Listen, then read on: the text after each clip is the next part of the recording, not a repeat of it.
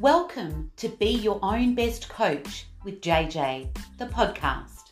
I believe that the best coach you can ever have is that one person that is staring straight back at you every morning in the mirror. You. Join me in discovering some key strategies so that you can create an empowered life and inspire others to live theirs. Your journey to being your own best coach starts right now.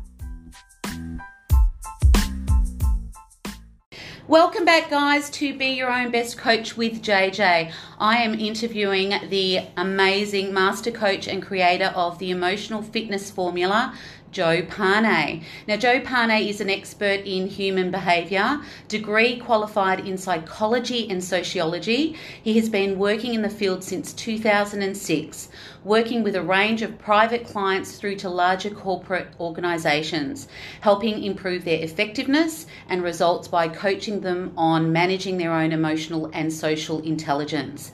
His clients have ranged from multinational corporate groups through to more intimate personal groups. His range of clients have included Jones Lang LaSalle, I think I've got that right, Flight Centre, ANZ, Department of Defence, Ray White, the Coaching Institute, Museum of Contemporary Art, Coles Group, NBN, and various primary school principal and deputy principal networks. Joe is the creator of the Emotional Fitness Formula, an online training program for organisations and individuals alike. Joe is also the coach's coach in the last 14 years, he has trained in excess of 6,000 behavioural mindset coaches on behalf of the Coaching Institute, Australasia's largest coaching school. Many of these coaches now work in the field today nationally, and I'm one of them, and internationally. Joe married his wife Silvana in 1996, and their twin boys, Oliver and Nicolas, were born in 2008. And I'd love to welcome Joe Pane. Oh, thanks, JJ. I'm so excited. Now, the listeners will know your name because I can't tell you how many times I've mentioned you and quoted you. And uh, so they'll probably say, Who is this Joe Pane? so it's going to be great for them to, to meet you via the podcast. I appreciate you having me. Yeah. So I want to know, and I can't, I, when I put these questions together, it was really exciting because I'm really going to dive deep into the yeah. stuff that I want to know about you. Yeah. Um, so when did your journey of coaching start? Uh, well, uh, in 2005. So so what happened was I was working in the world of real estate and before that in the world of uh, rehab counselling, which was my first job out of uni, um, and pretty much did that for 10 years those two jobs combined. And yeah i, I was uh, i guess the metaphorical you know lost in the fork in the road kind of situation. And, and, and i was reading something yesterday uh, from the novelist uh, whose name is uh, wendell berry. And he said something along the lines of that when you um, when you don't know which way to go and you don't know what to do, that's when your real journey begins. You know? Yeah. And uh, so I was going through that experience myself back in 04, 05, and literally I took a year off work. I, I was on a sabbatical. I did all these different meditation retreats and different things that I went on, which was just mind blowing. Um, I had to reverse back into a, into my job because I was running out of money, and then literally sitting under a tree in a park. I still remember where that was um, I, I, saw an ad for uh, for coaching, which was uh, Sharon Pearson, the founder of the Coaching Institute, and uh, pretty much from there. Uh, well, well, that was the first time I, I noticed a spark of excitement uh, around something. So, to have your own personal development business was something that was just crazy, crazy good. Yeah. And um, yeah, so then I, I quit my job. Excuse me. I borrowed uh, thirty thousand dollars from the bank um, and paid for my program and got started and haven't looked back since, even though it's had its challenges, but hasn't haven't looked back since. So, yeah. yeah. So when you decided to go into, you know, you saw the ad and that excited you. Were you thinking? Uh, this is what I want to do for a living, or were you thinking I need some personal help myself? Like, what was it that that really? No, for me it was um, this is what I want to do for a living because I had already been working on on myself, if you want to say it like that, um, in the previous three or four or five years. I mean, the the, the sabbatical that I, that I had was fifteen months. And I mean, that was an acceleration, or that was a turbocharge of, of waking up because the residential retreats, the, the silent retreats, the vision quests, the, uh, the meditation stuff that we did, the breath work, uh, there was so so many different avenues that uh, what we experienced experientially. So these weren't things that we were learning in the classroom. This was stuff that we were experiencing in our bodies. Yeah. Um, and that was um, that was to say it was life changing is a is a is a big understatement. Um, it shifted everything. So it shifted my identity. It shifted how I saw the world and myself in it, and all the rest of it.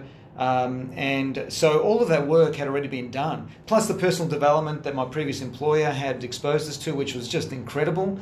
So, really, leading into it, I had nearly 10 years of personal and spiritual development work uh, that I'd experienced. So, no, when I saw the ad, I was like, no, this is what I want to do for a living. Yeah. So, yeah. And I can imagine, like, all of those years ago, it, it wasn't like it is now. Like, like going to a retreat and doing this, you know, this having days of silence is pretty, you know, people do that now. But Yeah. years ago, did people think you were a freak? well, I never, I never told anyone. I mean, Yeah. no one really knew, uh, other than my obviously my wife, because she ended up doing all the same workshops later.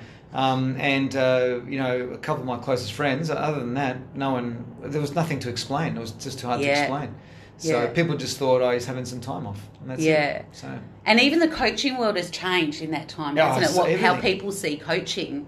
everything has changed. I mean, back then, you know, it, it- and we're only talking, you know, 14 years ago. It's not like we're talking 38 years ago, but Yeah. Um, yeah, back then coaching was all brand new. Life coaching had never been heard of.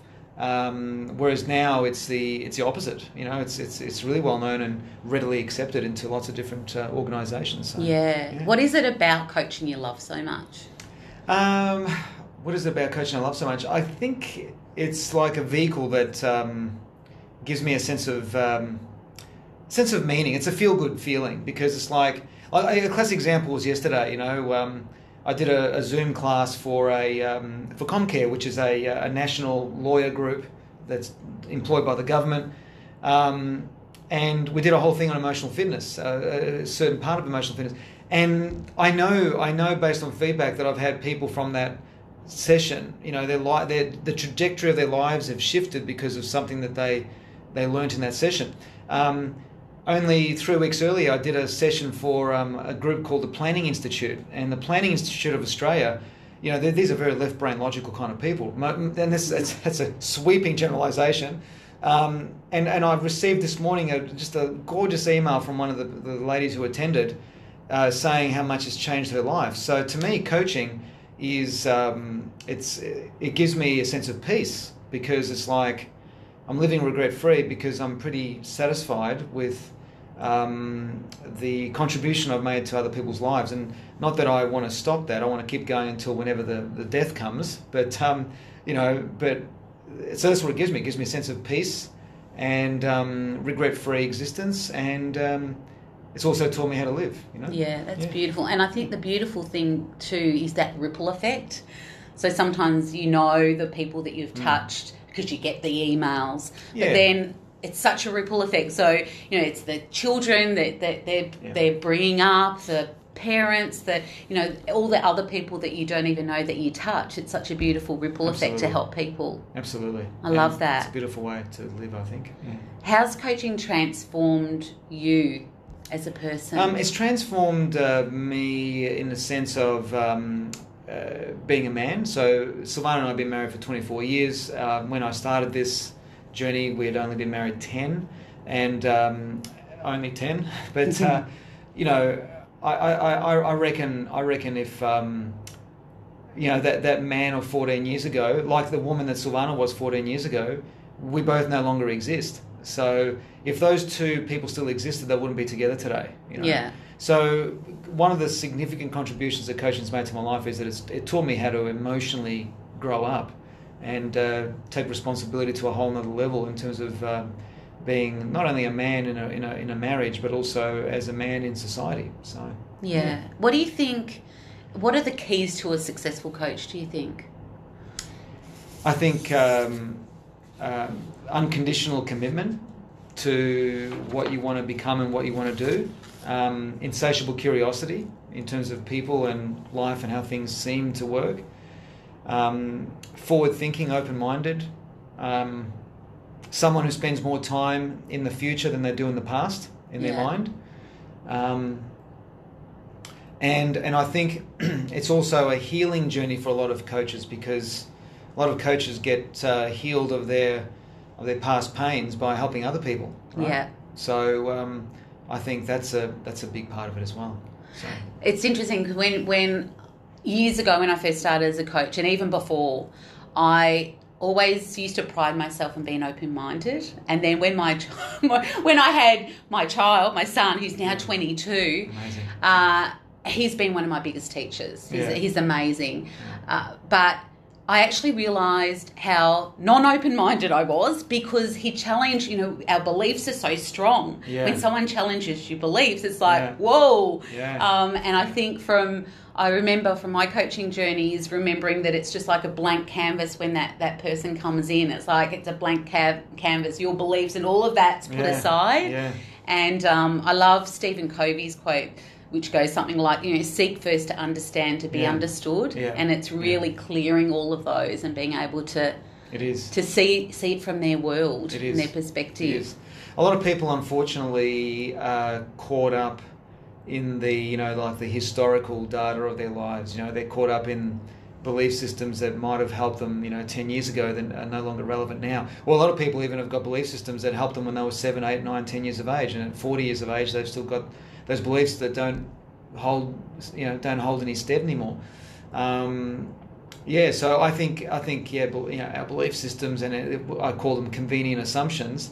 These Yeah. convenient assumptions that we've made about all these things in life need to continue to evolve just like our values. Our values are, are, are another expression of belief system and they need to evolve as um, as time goes on because if we don't catch up or if we don't keep up with who, who we are becoming you know we're going to experience a lot of pain.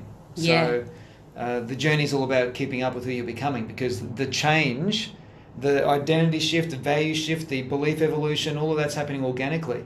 So you, you can't stop it. And if you don't uh, if, you, if you're busy defending your past against it then um, gee that's a it's an awful trap to be caught in Yeah. One of the quotes I often say that you've mentioned in the past is if you're green and growing and ripe and rotting. And I say that so often. Yeah.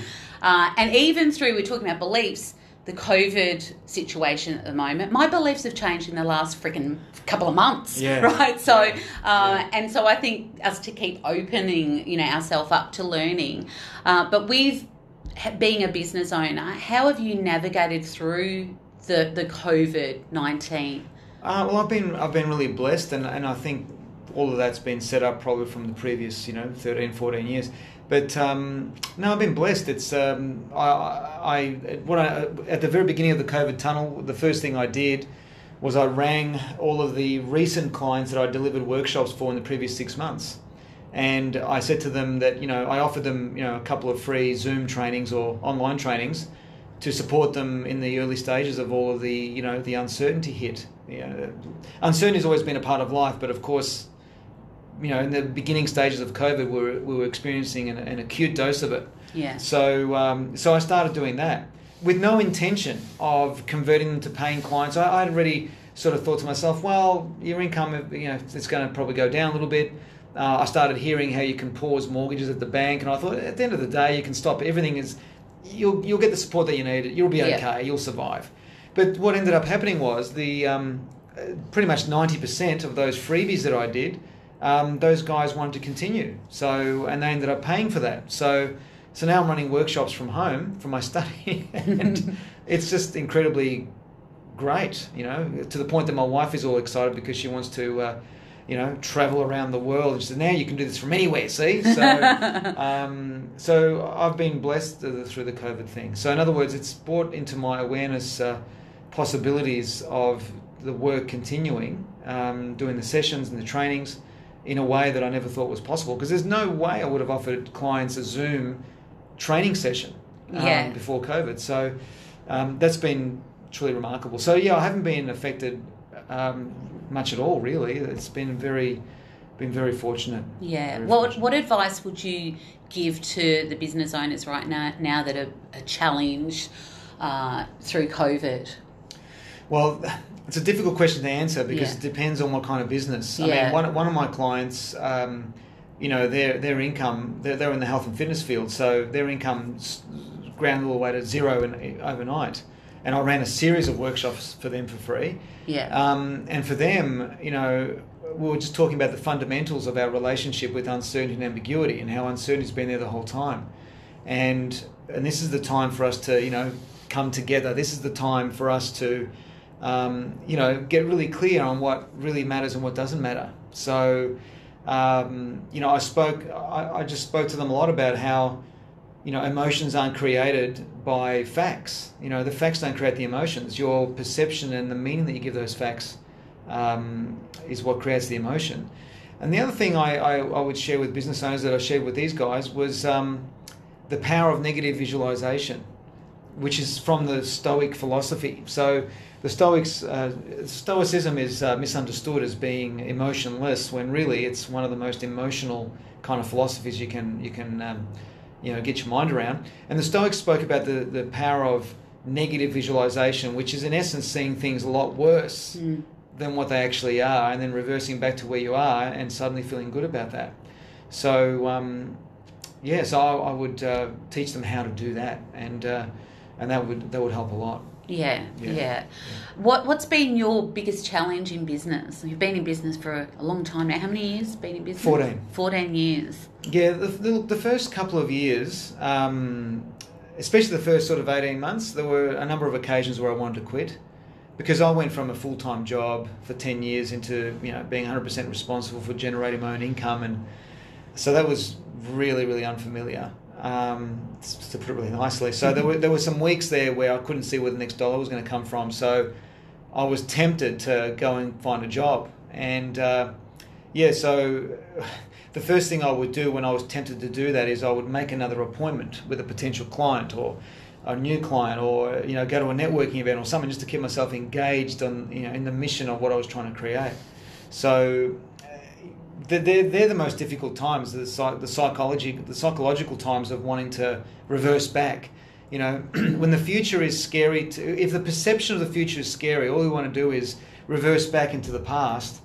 But by doing that, we soon discover that we don't belong there anymore. We can't fit in there anymore. Yeah. And if you're afraid to move forward and you find that you don't belong back there anymore, that's when you have a crisis. That's when you have a real issue. So um, coaching taught me that you know you got to keep moving forward. So because I tried to reverse and I couldn't find my way there, so it's like this I don't belong here anymore. It's like it's like visiting, I don't know, your old school or an old hometown you used to live in, and just find that you just don't fit in there anymore. You know, it's yeah. just not you're not part of that anymore. You're not that woman or that man anymore.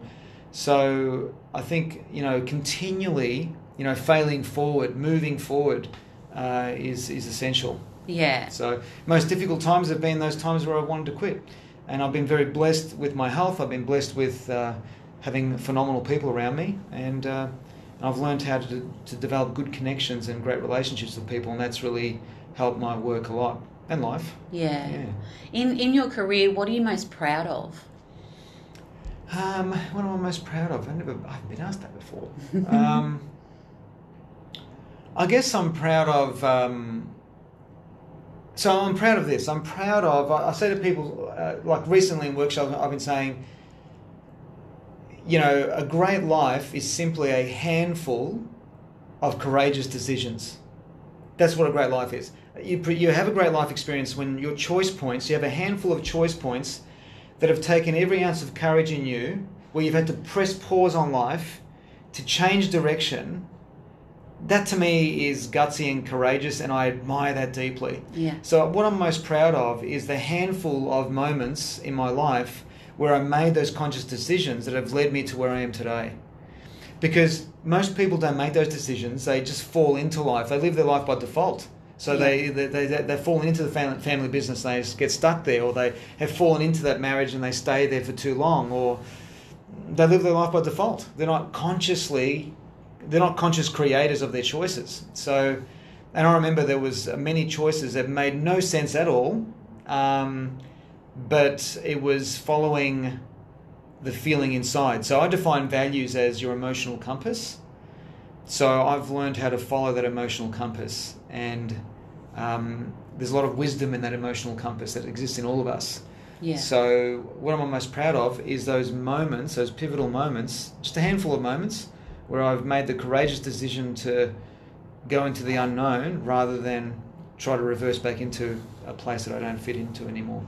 And thank goodness you did, because you had, you know over six thousand coaches that you've coached, and if you think about all the people that they've coached and the ripple effect that that has had. Yeah, and I appreciate you saying that. I also believe that it, even if I hadn't made those decisions, those six thousand coaches would have been trained by someone somewhere somehow. So, um, so I don't, I don't, um, you know, kind of like um, look at it like that. But uh, but the fact that I was involved in their lives because Yeah. of those decisions gives me incredible fulfillment. Like it's a it's a wonderful, joyous feeling of of peace. It's a peaceful joy. It's it's beautiful. I, I remember you said something. I can't remember what you said, but uh, it relates to to this. Is when you give something without any expectation of return. Yeah. So when you're training these people and you're sending them out to the world to do their amazing work, to be able to do that and really not, it's not like even a legacy as such. It's like, okay, I can give this, and if no one remembers who I am, then that's okay because that's not why I'm giving it. Yes. And I think that's a really beautiful Yeah. thing. I think, um, yeah, it's it sounds ludicrous to say this, but it's like you, you kind of, as a teacher, you need to disappear, you know? Yeah. Um, so, which is, yeah, it doesn't kind of make sense, but I know, I know, I, I know what I mean when I say that.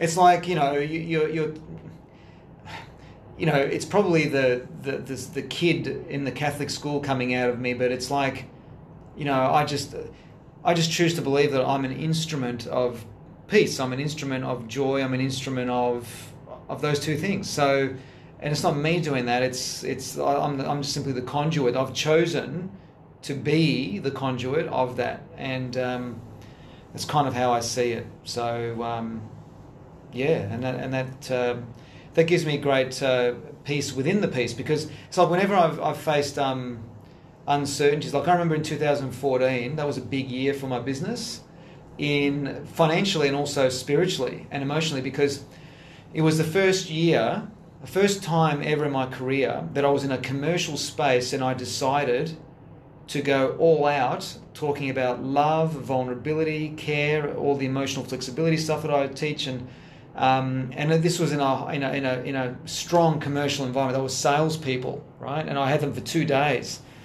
And I thought to myself, I'm going to go all out, unfiltered, and if they don't like it, fuck it. Yeah. I don't belong there. I'll Yeah. belong somewhere else. Yeah. And um, man, the, like they absolute to say they loved it is a, is, a, is an understatement. And then people were telling me things like people coming to me in tears, Yeah. you know, with with um, with the life changing moments that they had in that training. I had Silvana was in that training too, so I spoke about my marriage um, with her in the room, unfiltered, and, Yeah. and, and, and all its beauty and all of its uh, difficulties at times, and all this sort of stuff.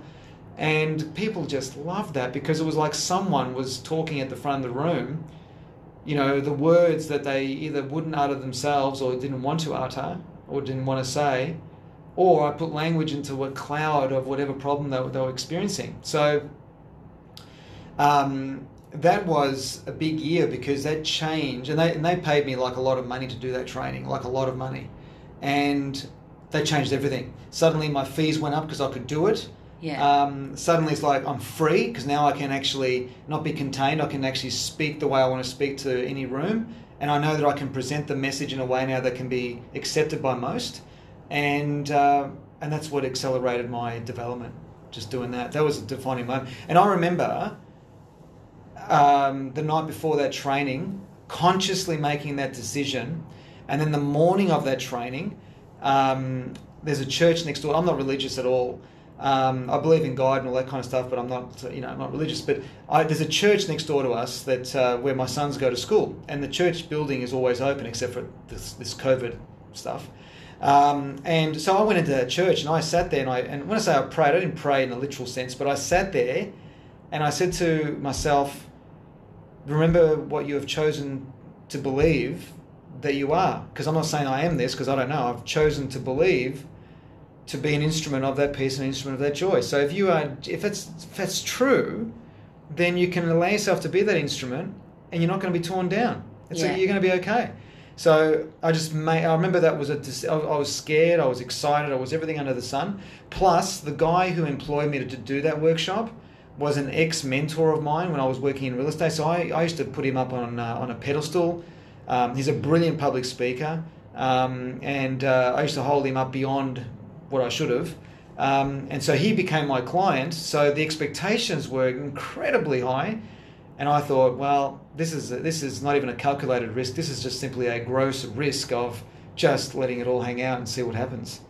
And I've found so far in the last 14 years, JJ, those moments when you are unfiltered and you speak your truth, the world embraces you. Yeah. It's when you try to manipulate your message or you try to smother your communication that the world sees you as that. so Yeah. they respond differently, right? Yeah. So- I often talk to my clients in regards of like dropping your mask Yeah. of and then being who you truly are. And I know we talk about authenticity; it's thrown around a lot, but Yeah. from my point of view, my journey as well, it's so freeing to be able to just be who you are and and you know warts and all vulnerability and be able to speak from the heart. Um, and then you're serving so many more people in a really truly authentic way as well. Well, then you, you attract the right people because you're attracting people who resonate with that message, and uh, life is so much easier when you're with people who resonate with your your purpose. So, so Yeah, and I and one thing that came to mind too when you were talking about your fees, I remember the day, and we were at the old, the coaching institute office Oh, yeah, where yeah. wherever that was, and I remember being in your course, and we had to stand up and we had to say what our hourly rate was. oh, that's right. and um, I remember being so like I remember that hook in my stomach, and I think we started off with thirty dollars an hour or something, Yeah. maybe even less than that. Yeah. And I had a hook right at the start, and you're like, now you might be getting a hook soon or whatever your language Yeah. was, and I had the freaking hook at the lowest amount. Um, so that that just brought back that memory because I know that you know as I've grown. I've became more real. You know, this is who I am. I take my shoes off for my trainings, Joe. Fantastic. Like Fantastic. Good on some some people will turn their nose. up. I'm like, here I am, what's Yeah. and all. Um, but also from from a value point of view to Yeah. say like this is the value I give, and Yeah. so this is you know what I, I get in return, and I deserve that for what I give. Absolutely, you know that's the value I give. So, as a leader, what values do you live by? Um, health and vitality, gratitude and appreciation is a big part. Um, joy and peace, I've mentioned that probably 37 times in this conversation. um, uh, there's, um, um, how do I say this? The, the theme is, the other value theme is more around the lifelong learning, um, uh, curiosity kind of uh, journey. Um, that's an important value um, and uh, and that, that sort of blends in with wisdom. So so wisdom to me is being curious about the next phase or stage of what you are becoming and who you're becoming, and and moving closer to the essence of what that is. You know. Um, connecting more with the essence of you, the spirit of you, the, the God in you, whatever you want to call it in you. Um, that, that, that to me has been the journey all the way through. So, so my values are kind of like around that. So health and vitality is really important because of all the obvious reasons, of course, about health, but but also to me that's a part of. Um, I say to my wife all you know, I say all the time, you know, a number of times, which makes no sense to her and makes this makes no sense to anyone else in the world, but it makes sense to me. And that is that health and vitality to me is like, um, you know, I run a lot, I do lots of running, and to me, the purpose of my life is to run, which sounds ludicrous to people from the outside because I do all these other things, but it's like, but I know what that means. It's like my spirit can't experience that anywhere else. So it's come here to enjoy the joy of the fluidity of the physical movement and how great that feels. So my values are heavily surrounded around that. And then there's a big uh, amplification around gratitude and appreciation. Like, rarely does a day or a week go by where I'm not grateful and appreciative of something, Yeah. um, you know, in, in, in my life. So that's a big part of it. So gratitude, appreciation, health, and vitality to me are the are the um, the captains, the main sort of drivers of um, of my values. Yeah. So, and self regulation is another part. I mentioned that before we started the we press play here. Um, self regulation sounds really boring, um, but to me, it's uh, it's balance. So. Um, you know, we were talking about wine before, you know, and, and how you don't drink any alcohol anymore for your own Yeah. personal reasons. Whereas um, for me, my relationship with wine is I, I love having that glass of wine every every night, most nights. but I also know that one of my values is self-regulation. So, Yeah. um, which means there's no, there's no thought of going into four glasses or a bottle. It doesn't it doesn't even come close to that. It's one glass and that's it. And then you know when it comes to my other favorites, you know pizzas and chocolate and stuff like that. Yeah. You know there's self-regulation. around- There's self-regulation in what I say to people. You know, Yeah. understanding when to shut up and when to speak up. You know, Yeah. and the difference between those two things. Um, so self-regulation is part of that values um, sort of themes as well. If that makes any Beautiful. sense. And as a coach, you, you're, you've talked about health and, and, of course, mindset, keeping your mindset really strong. What are the habits that you have personally that you do every single day to set you up for the day, the week? Well, running is a big part of that. So I run probably five, at least five times a week, generally, sometimes six. Um, that's my main ritual, and I love it because there's all these different kinds of running that you can do, from hard training to relaxed runs, etc. Um, so to me, that's a big part of it. Physical movement is is is important, and in the mornings, um, you know, I spend between thirty minutes and sixty minutes, roughly, uh, every morning, five six days a week. When I say every morning, um, reading something that inspires me or that um, keeps me in, on track with what I'm about. If that makes Yeah. any sense. So Yeah. um, that's really really important. Um, and also, I'm, a, I'm an investor, so I've got I've got money invested in all these different vehicles. You know, all these different investment. Um, um, I'll call them investment channels, I guess. You know, from real estate through to shares, through to everything else. And uh, I love, as part of my ritual in the morning, um, I just love looking at those numbers every morning, regardless of whether they're going up or down. But it's just part of my um, my, my joy. You know, it's Yeah. like it's good. Like it's what like watching. It's like a gardener having the the joy out of seeing that sprout coming out of the dirt, or the first flower coming out of that tree, or whatever it might be. Um, and that's one way I look at my investments. So that might sound a bit strange, but that's it's part of my. I love it. I love numbers. Yeah. I love looking at those. So How many marathons have you run so far? I've done seven full and twenty one half marathons. Wow. Yeah. Wow. And I just, um, I don't run. I, I there was a time where I did run. I do walk every day, so I love that. Uh, but I remember one of my um, girlfriends who I just did a podcast with. Actually, she taught me to run from one from one tree to another, and I swear the trees are really far out. I, I, she stitched me up. But I remember doing one run, and it was at Williamstown. I can't remember if it was like um, four kilometers twice. Yep. But the thing is that you had to, and I'd never run that far ever.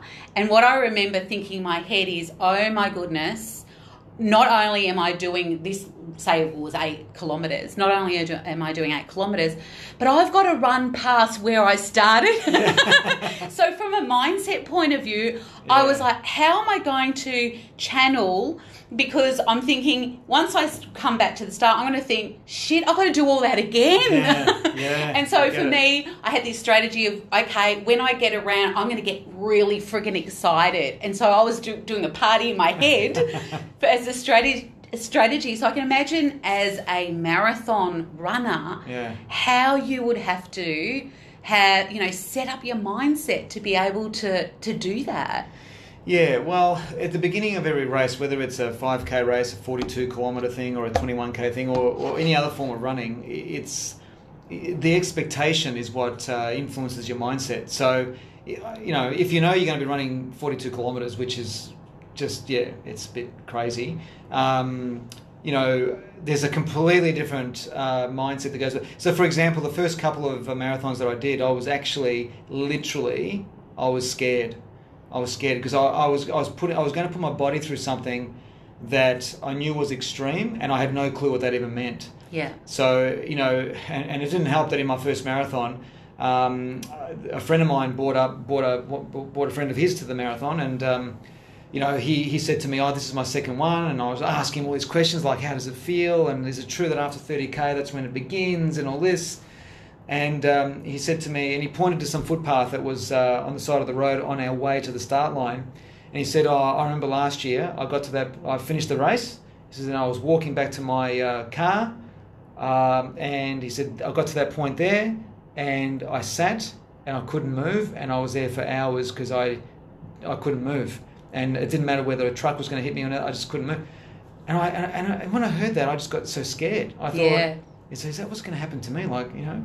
So the first couple of marathons were really, really scary. I had to do them with other people, Mm. and I had to do them very, very, um, in a very uh, conservative way, like run a lot slower than what I knew I could run it. And then, um, yeah, it wasn't until the fourth and fifth marathon that I had the courage to go and do one by myself with a strategy to race it Yeah. and, and do great time. So, well, great time to me anyway. But um, yeah, so the, the, the mindset is often influenced by the expectation that you have on what you're about to do. So, quite different mindset to say jogging five kilometers around the block, right? Where your expectation is, I'm just going to chill. Yeah. So, your expectation influences your mindset big time. Yeah. If that makes any sense. Yeah. Yeah. So my my expectation of that two day workshop of you know what I wanted to, what I was expecting of myself, and what I would love to share, set up my mindset for that. So I hope I'm making Yeah, sense. yeah, absolutely. Yeah. In your career and in your life, who's been your biggest teacher? Um, I wouldn't say biggest teacher. I'd say there's been lots of different teachers. Yeah. Um, so in my life, so I'll go chronological. Um, my both my parents are still alive and married, and together for good reason. Uh, my dad would probably be the first person because he he he has always run his own business. He was a car mechanic at a Caltex service station and all these different. He was in that sort of realm of physical work, and also he built houses and houses and stuff. So he was always a leader to me. So he taught me work ethic, but I redefined work ethic. His work ethic was volume, like eighty to hundred hours a week Yeah. my work ethic translated to efficiency. So to me, it's like you know earn the most and work the least hours kind of thing, and which is what another gift that coaching's given me. But um, so he was my first hero. Um, and then moving forward from there, when I started working in the real estate space, um, we had a mentor there um, whose uh, name was uh, Neil Jenman, who's a who, who back then in the nineties was a very um, he, he you were either all in or all out with him. He was very divisive in the real estate world. He introduced me to personal development, so he's he's he's one of my um, heroes, one of my and and by a hero as a, as a trainer, as a coach, he was he was pretty good. And then um, I had the the beautiful good fortune of meeting a couple called Michael and Marlies Carroll, who introduced me into the world of meditation, the silent retreats, the vision quests, all those experiential breath work, and all the different stuff that we did. They absolutely changed the trajectory of my life for sure. So they're heroes of mine.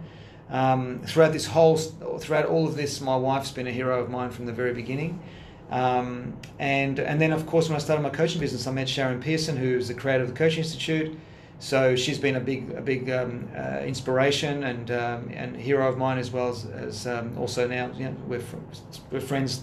You know, 14 years later, we're we're still uh, you know in in solid relationship.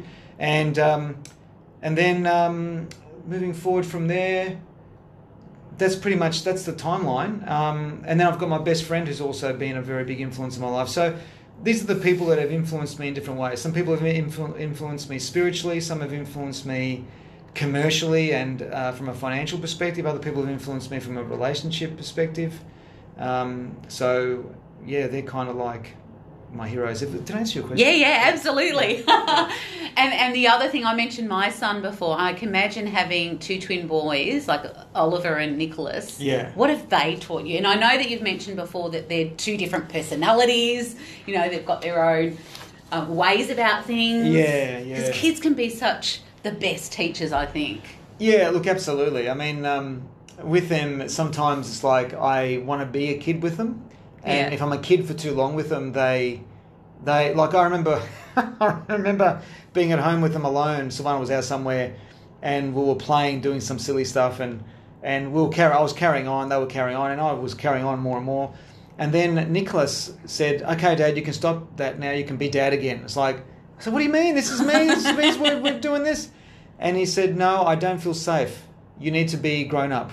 and I thought, wow, and I was really proud of that because, and that's more my wife's, uh, you know, my wife's contribution rather than me. I think in that he had the maturity to say, okay, you can stop that now because you're not making me feel safe. You're meant to be my dad. Yeah. So many moments like that that that have come up in our in our conversations with our kids, with our boys that. Uh, have kind of like perked me up and gone, shit, okay, I better um, mind my language or mind my body Yeah. language mind my, you know, the way I speak. It's uh, it's been quite amazing. Yeah, I love that. Yeah. Uh, one of the things, and I love Tony Robbins, um, has said, he says that sometimes we can, I think this is what he says, I'll, I'll, I'll make it up a little bit, um, that we overestimate what we can achieve in a week. I think Mm. that's right. Yeah. And underestimate what we can achieve in 10 years, like in a decade. Yeah. You looking back at what you've achieved, like how have you grown as a coach in that time? Um, I don't know. Gee, um, it's hard to say because uh, you don't realise how far you've come until you Yeah. compare yourself to 10 or 14 years ago. And I don't even remember. Um, I think I've, I've become a lot more, even more grounded, more calmer. Um, how have I grown? Ask me the question again. How have you grown in so ten years ten years ago? What is your journey? If you look back at that Joe Pane trainer, coacher, speaker, coacher, Yeah. coaching, coach. You know what I'm talking Yeah, about. yeah, how have- you know how how have you changed? Well, I think my children have changed me more than anything because being, becoming a dad um, has crystallized absolutely what is most important or what are the important things in my life. So I think that's brought a deeper sense of certainty within me uh, as a trainer and as a coach. Yeah, Um, it's given me a clearer um, sense of my identity.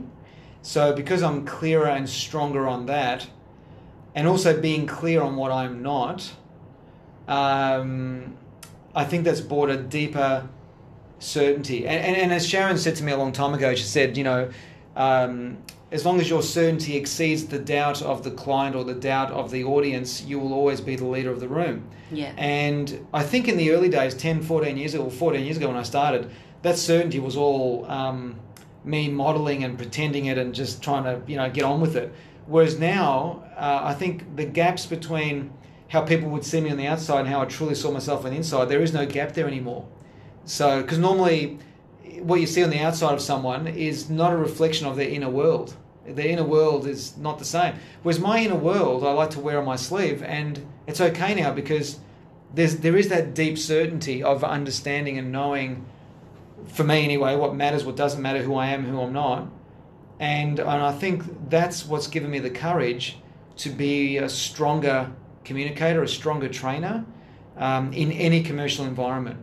Um, I, like one of my new clients, I want to say new, from about a year and a half ago, um, is, um, and I'm still doing a bit of work with them, is uh, NBN. And uh, before the COVID thing hit, one of my last trainings that I did was um, at this uh, fancy place in Sydney. Uh, 45 engineers from NBN, ma- mainly like 95% of them were men, very much, you know, logical, C energy, you know, very Yeah. technical based and all this sort of thing. And, uh, and I just did my own thing. Like I, I had the whole day with them on teaching them my emotional fitness stuff. And um, I, I just did my usual thing. It was like me talking to you, JJ. You know, Yeah. but and I wasn't thinking they're engineers, so I've got to be more conservative or whatever. I just did my thing, and um, and I remember the HR manager, like even months later, saying to me, "I still can't believe the feedback that those guys were giving, you know, giving us about that training." It's like, you know, I was expecting that um, they were going to come back to us and tell us never to do that again, or something like that, right? Yeah. And and I, and I and I remember inside me going, I'm not at all surprised by that. You Yeah. know, like how can it be anything else? So it's that genuine sense of deep certainty that I think has grown that ten years ago wasn't there. yeah, Is that making sense? yeah, yeah, And um, and that deep certainty carries with me everywhere, and I think that makes a massive difference in how people perceive and respond and react, and that's why I feel genuine sense of confidence whenever I go into any room to do my thing, because you know it might sound like an egotistical comment, and if it does, so be it. But um, I do know with certainty that when I go and teach my emotional fitness work, that I know more about emotions than anyone in that room, and that gives me that sense of um, confidence and certainty, if that makes Yeah. sense.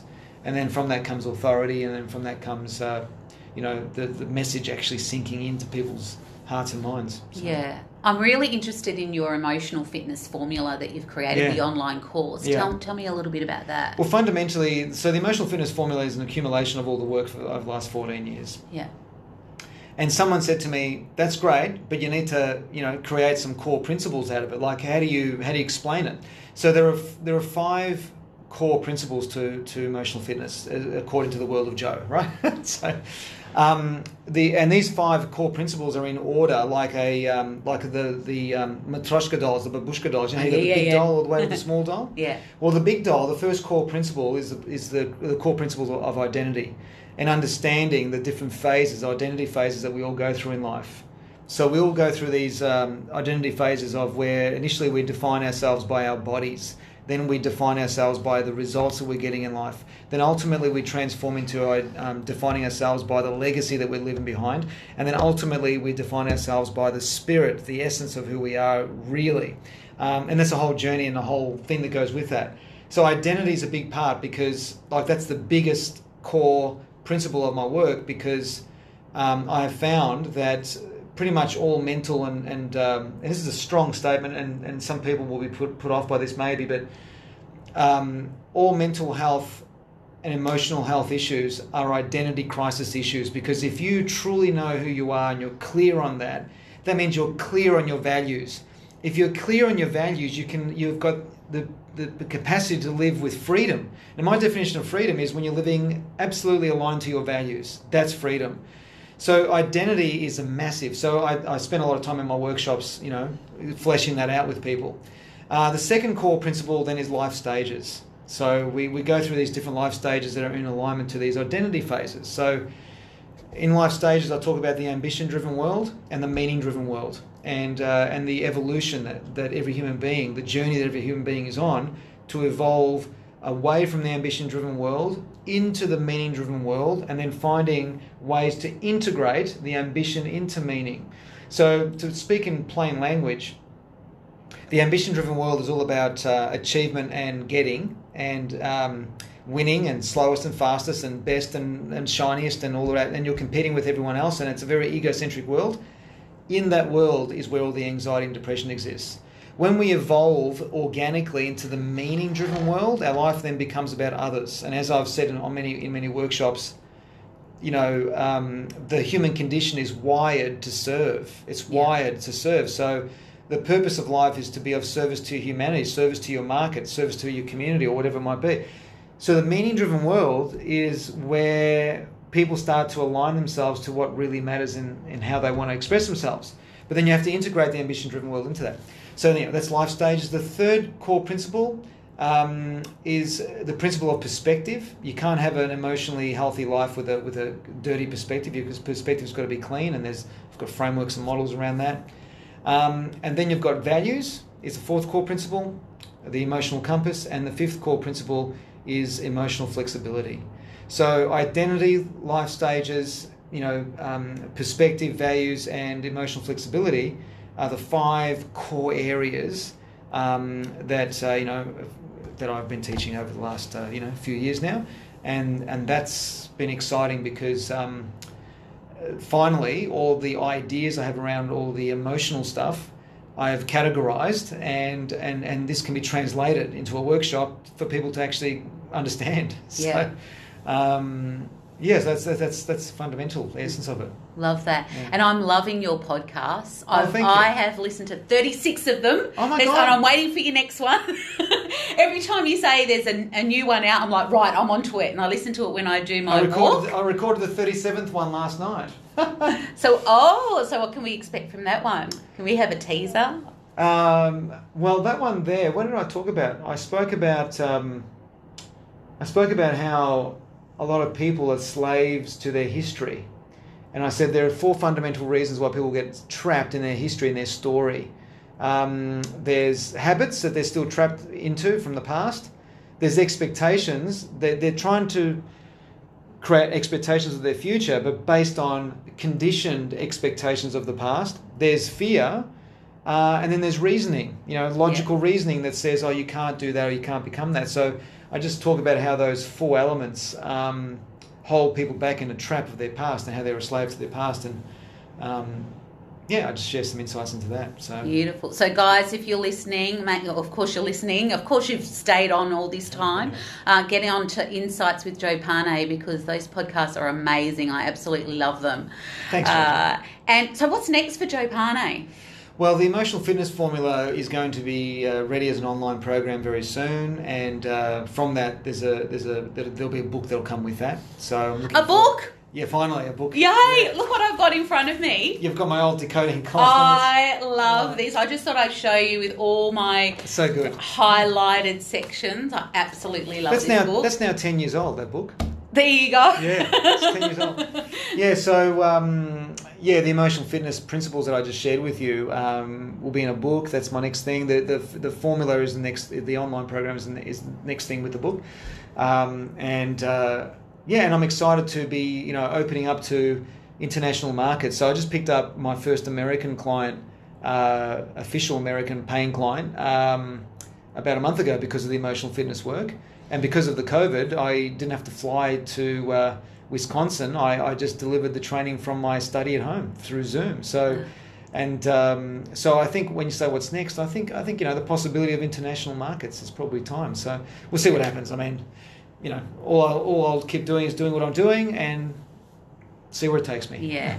And if the guys want to look and, and see what you're doing and follow you, of course you're on Instagram, Joe Pane. Yeah. You've also got a new website that's you've developed. It's Yeah. in development. Yeah, so it's just uh, joepane.com.au. Uh, on there is the link to the podcast. Um, there's uh, another big part of my work is um, behavioural profiling that you know all about. You've been Yeah. involved with me in the past. So the behavioural profiling, where if you're a, you know if you're a coach or a consultant, uh, it's an instrument for people to you know un- unveil the unconscious emotional themes going on in people's lives and how that's been holding them back and I'm doing a free training on that in August, and the info, and the details of that are on that website as well. Yeah. Um, and people can follow me on uh, on Facebook. I think the handle is uh, at Joe Pane Insights, uh, and the podcast link is on that website too. So pretty much through that website they can get you know, all, all the stuff that I have. So, guys, I'll put the link below uh, on this podcast so that you can easily access Cool. Joe's amazing stuff. Now, are you ready for JJ's rapid fire questions? Well, I, I don't know because I've, I, didn't, I didn't know about this. So you mentioned it briefly before we started talking. I thought, okay, well, right, give it a this is what we're doing. Alrighty. So, what's the best piece of advice given to you? given to me. Um, do the right thing. Do the right thing. Favorite book? Any of David Hawkins' books. I looked him up. The Eye of the I. The. Eye of the I. There you go. The Eye of the I. Yeah. Who would play you in a movie? Oh God. Oh, I don't know. I could say Brad Pitt, but that's total bullshit. I don't know. Vin Diesel. Okay, I'll go with that. What's one thing on your bucket list? Um, um, working in working from around the world. Beautiful. If you could trade lives with anyone for one day, who would it be and why? Well, first of all, I wouldn't. But uh, if I had to do that, who would I? Dalai Lama. Dalai Because I'd be curious to know if I had to to experience him. I'd want to know what it's like to be in his consciousness and how he experiences life. Yeah, beautiful. Three words that describe you? Love, peace, and joy. Peace and joy. Here we go again. If you could have any five people, currently dead or alive, to have dinner with, who would you choose? My wife, Yes. my best mate. Um. Oh dear.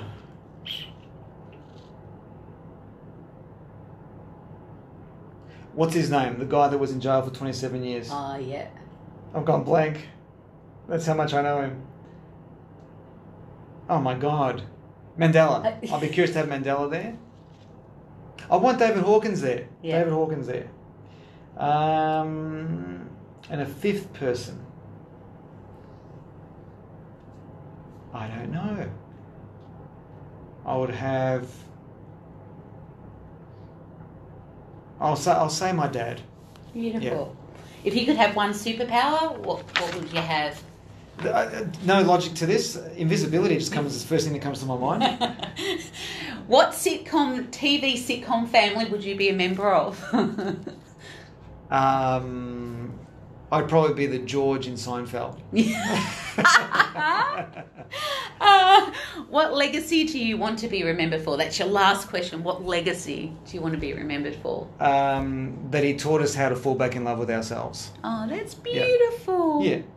Thank you so much, Joe, Thanks, for your time. It's You're been welcome. such a pleasure. And as uh, I said on the podcast, you, the, the guys will be hearing me talk so much about you. Mm-hmm. And um, I really appreciate everything that you've done for me and um, my welcome. growth and my personal growth and um, the ripple effect that you've had on my life. So thank you so much. No, thank you, Jojo. I really appreciate you having me on here, and um, it's phenomenal seeing you uh, again because um, you know, as you know, we met ten years ago, twelve years ago in one of the coaching training rooms, and you see when I see people like you doing the magic that you're doing and all the stuff that you're doing. It, it, it gives purpose to the to the trainings that I do. You Yeah. see, because if people go to the trainings and do nothing, then what's the point? you know the money can only last for so long in terms of its you know it's the stuff you get out of that it's um, seeing the beautiful people like you who have who have taken the journey and have embraced it and i think that's magic so thanks for having me and it's wonderful seeing you Thank you. Thanks, Joe.